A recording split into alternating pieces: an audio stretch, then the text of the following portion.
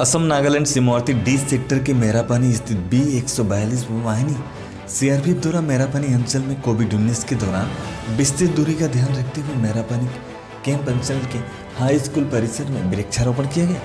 उक्त वृक्षारोपण के कार्यक्रम को सफल बनाने के लिए एक सौ वाहिनी के डी सेक्टर के सेक्टर कमांडर मुकेश के साथ अपने सारे कर्मियों ने अपना विशेष योगदान दिया और साथ मिलकर असम, नागालैंड सीमावर्ती डी सेक्टर के मेरापानी अंचलों के हाई स्कूलों की चार दीवारी के अंदर खेल मैदानों, मस्जिद कोलाजान इंद्रपुर के साथ मेरापानी आदि स्थानों में वृक्षारोपण किया गया धनसिरी से राकेश यादव की रिपोर्ट।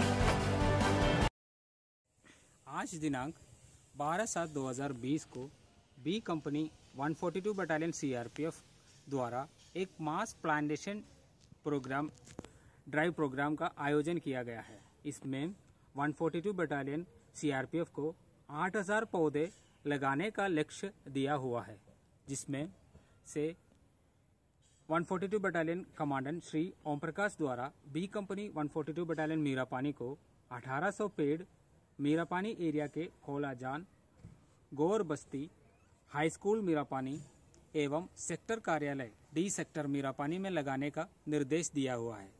हमारे कंपनी के जवान जवान द्वारा 1800 गड्ढे पिछले तीन हफ़्ते के अंदर खोद लिया गया है और उनमें से पौधे लगाने का काम अभी किया जा रहा है।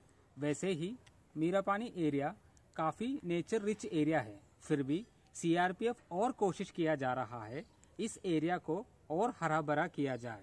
इस कार्यक्रम में हमको forest range officer Shri Raju Sakiya ji के काफ़ी मदद मिला हुआ है। ये प्रोग्राम कंडक्ट करने में मीरापानी एरिया के जनता के विशेष सहयोग मिला है। ये प्रोग्राम सीआरपीएफ द्वारा राज्य में, पूरे राज्य में 22 लाख पेड़ लगाने का लक्ष्य का पाठ है।